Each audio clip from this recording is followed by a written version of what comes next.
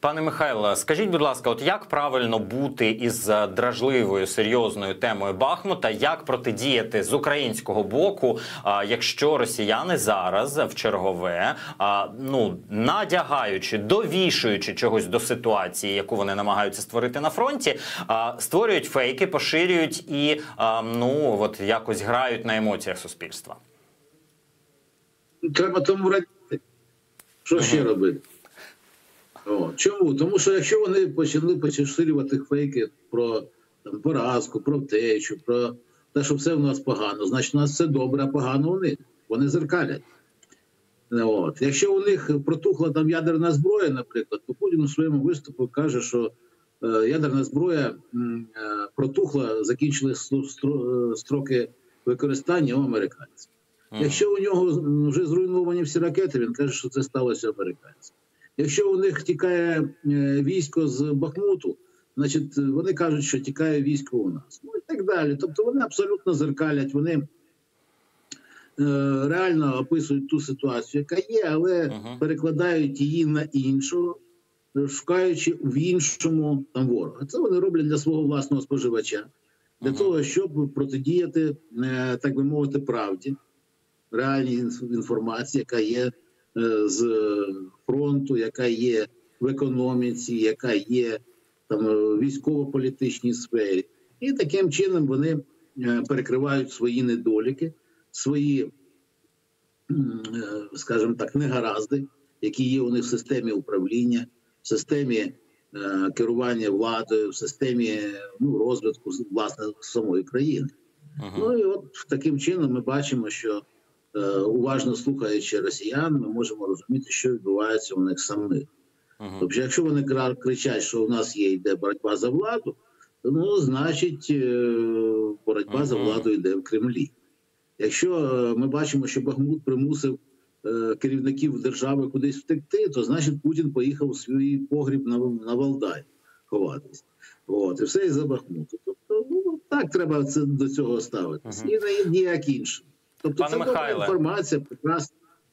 Пане Михайле, я можу вас попросити описати фактично ситуацію фронтову наразі із тих джерел, які вам доступні, і посилаючись на ваш е, досвід, е, досвід військовий, досвід е, що можна оприлюднювати зараз. Зрозуміло, всіх карт відкривати я не буду, але поінформованість хороша протидія фейкам і дезінформації. Як нам треба розуміти, що відбувається зараз на передовій, зокрема у Бахмуті? Друзі, Росія атакує в Бахмуті. В одному єдиному Бахмуті на всій тисячі кілометровій лінії фронту, навіть більше, ніж тисячі кілометрів. Тобто ситуація в Бахмуті показує, що реально російська армія зараз посипалася і деградувала до того рівня, що вона не може атакувати навіть з кількох напрямків. По суті, це є один напрямок, який там роздріблений на кілька е, ліній, але по суті, в одному єдиному місці залишились сили Росії. Вони не в стані атакувати по всій лінії зіткнення. Вони не в стані фактично е, утримувати ті території, які вони окупували. От та ситуація, яку ми маємо з вами розуміти, коли бачимо, що Росія зосереджує свою інформацію, наприклад, на одному напрямку на Бахмуті. Е, чи свої війська зосереджує на одному єдиному напрямку. Що це каже? Це каже про те, що в них немає бронетехніки, а звідки її взяти, якщо вони втратили вже більше тисячі там десяти тисяч одиниць бронетехніки за цей час. Скільки ж особового складу вони втратили? Якщо наш генштаб дає там 160 тисяч, то насправді це більше, тому що вони, ми не можемо всіх порахувати тих, яких там прикопали, закопали, які були анігільовані в танках і так далі. От реальна ситуація. І вона відома всім, просто ми маємо ставитись до цих інформаційних е, повідомлень досить ретельно, розуміючи, що якщо йде розмова про Бахмут, про єдин єдиний Бахмут, який вони хотіли взяти за три дні, так само, як Київ за три дні, от, а беруть його вже без малого там 10 місяців то це каже про те, що відбувається велика деградація російської армії. Ця деградація приводить до е, деградації системи управління, логістики, е, до е, деградації командування, тому що нема командирів, нема кому командувати, е, до е, розложення особового складу, який тепер не має мотивації, не знає за що він воює. Страшно дивитись на е, ці російські війська, які е, сидять в окопі. Е, їм дали чотири колоди, якими вони прикрились, і то все, що в них є.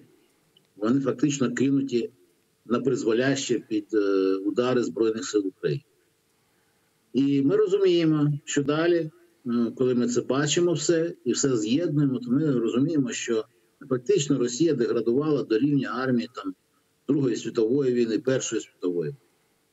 Відповідно, вони будуть діяти і діють вже так, Мгм. тобто закидують наші позиції просто живим м'ясом. Його не треба готувати, його треба просто взяти десь там в Сибірських е, просторах, скажімо так. От, засунути Мгм. в теплушку, тобто в товарний вагон дерев'яний е, з, діркою в полі, щоб ходити дити до вірту, і таким чином привезти на фронт і кинути їх в бій. Це все, що вони на сьогоднішній день реально можуть. Вони це роблять. Пане Михайле, якщо Тому можна, що... я зараз е, я